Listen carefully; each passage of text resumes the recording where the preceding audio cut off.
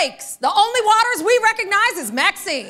Congresswoman Maxine Waters now joining Congressman John Lewis in his boycott of President Trump's State of the Union address. What does he have to say that I would be interested in? I don't trust him, I don't appreciate him, and I wouldn't waste my time sitting in that house listening to what he has to say. He does not deserve my attention. Yes!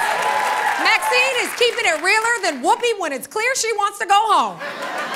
She is reclaiming her time, and so should we. That's why during their president's little commander in chief cosplay, we at the Rundown will live tweet our president, Barack Obama's first State of the Union address. So save the date. Tuesday, January 30th at 9 p.m. Eastern. As it gets closer, we'll post a link so we can all watch and tweet the speech together. Yes. Because nothing will get Trump madder than us moving forward by going Barack in time.